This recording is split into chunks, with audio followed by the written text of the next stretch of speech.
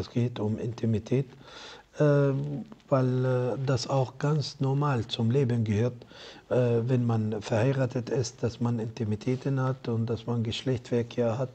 Und das ist auch ein, äh, sage ich jetzt, ein Grund, dass man heiratet. Und das ist natürlich auch, das gehört zum Leben. Äh, aber das Hadith, Barakallahu was der Autor äh, gebracht hat, das ist 941 bei mir.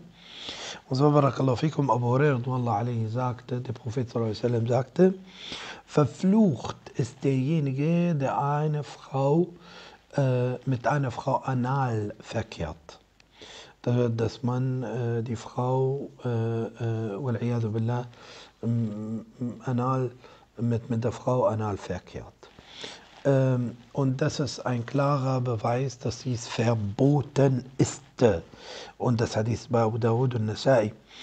Und äh, viele Sahaba haben äh, sowas überliefert wie Ali, Umar, Ibn Mas'ud, Jabir, Ibn Abbas, Ibn Umar, äh, Anas, Abu Dhar, dass, dass es verboten ist, dass man mit der Frau äh, verkehrt im Analbereich.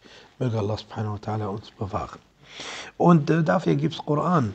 Und zwar, Barakallahu fikum, Allah subhanahu wa ta'ala sagt, Nisa'ukum harthun lakum, das wird eure Frauen sind eure Saatfelder. Fa'tu harthakum an nash'itum, das wird ihr könnt verkehren mit der Frau, wann ihr wollt. Aber ähm, Allah subhanahu wa ta'ala sagt, Fa'tuhunna äh, das wird verkehrt mit ihnen, wie Allah subhanahu euch befohlen hat. Das wird an die richtige Stelle. Und die richtige Stelle ist barakallahu das Geschlechtorgan. Und dort, na, eigentlich, man äh, hat Geschlechtsverkehr, damit, man, damit die Frau schwanger wird, damit man Kinder bekommt. Und das ist genau dieses, diese Analogie hier in diesem Zusammenhang. Das heißt, äh, wenn du ein Feld hast und du äh, sägst, äh, Kerne, damit du am Ende Pflanzen bekommst. Und äh, deine Frau ist wie dein Saatfeld. Äh, du äh, verkehrst mit ihr, damit äh, äh, sie schwanger wird und Kinder bekommt. Und die Stelle, die Stelle, dass der Mann mit der Frau verkehrt, ist klar.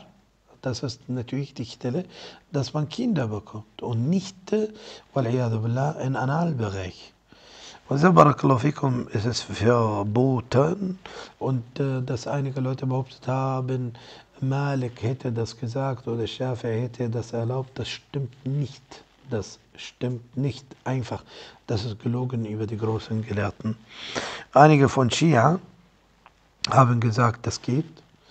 Äh, aber natürlich, Barakallahu fikum, die Beweise, Koran und Sunna, sind klar. Und es gibt noch einen Beweis, was klarer ist. Der Prophet sallam sagte, wer mit einer Frau anal verkehrt, hat äh, somit das verleugnet, was Allah dem Propheten sallam offenbart hat. Und Hadith 942, Ibn Abbas sagte, der Prophet sallam sagte, Allah schaut nicht denjenigen an, schaut ihn nicht an. Das bedeutet, Allah subhanahu gibt ihm keine Barmherzigkeit, Allah subhanahu bestraft ihn. Ein Mann, der mit einem Mann anal verkehrt hat oder mit einer Frau. Und deshalb, das ist Barakallahu fikum klar, möge Allah subhanahu wa uns äh, bewachen.